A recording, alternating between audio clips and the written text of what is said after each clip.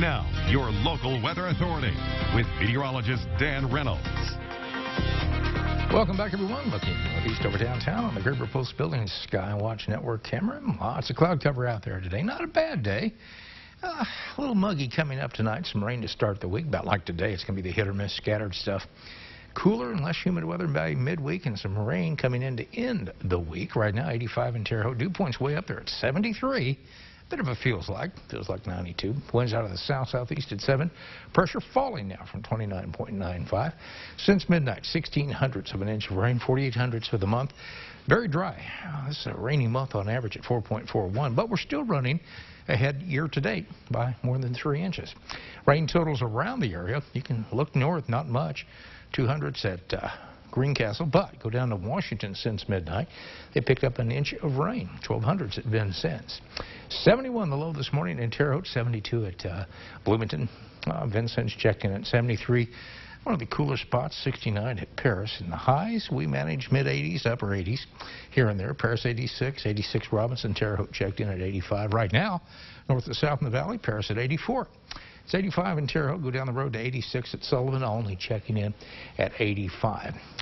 Feels like a little bit more than the air temp. It feels like it's in the low to mid 90s, 92 at Terre Haute. Not brutal out there. It will be a muggy night coming up, though. Tons of moisture in the atmosphere.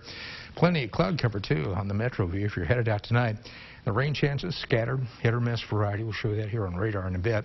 Not a lot going on out there as far as rainfall. We had some during the overnight hours, and that was it. And you can see, uh, big picture, uh, most of the rain has stayed south of us. It wasn't really an active day for severe weather either. You can see the bulk of that rain early overnight, pushing just south of here. Not a lot brewing up back to the west. There's some hit or miss showers and storms out there, so we'll call it scattered and leave it in there for the time being. And that's the picture right now. Uh, a little up around the Champaign area and just to the north and southwest of Effingham.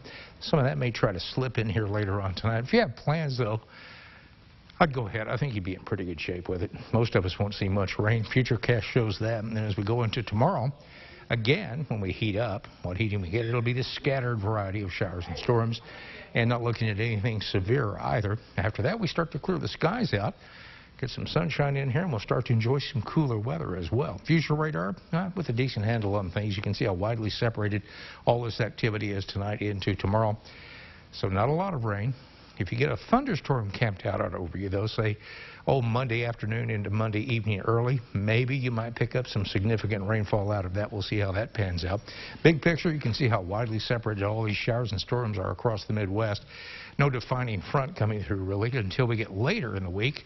And notice this clearing right along here. High pressure builds in. So we'll start to see some really nice weather. And again, rainfall totals over the next 48 hours, real widely separated amounts around the valley. Doesn't look like too much rain for most of us. Very light indeed. 71 tonight. Scattered showers and storms, but most of you will dodge the raindrops. We'll have a southwest wind at 5 to 10. Kick off your week tomorrow at 87. Uh, scattered showers and storms again more likely as we go into the afternoon hours we heat up with a west breeze at 5 to 10. Looking ahead on the extended forecast, look at that nice cool down midweek, 57 when you wake up Wednesday morning. It'll be cooler, drier, less humid pretty much all through the forecast period after we get past Monday. We'll put the rain back in the picture Monday going into the weekend. Omar is back with sports after this.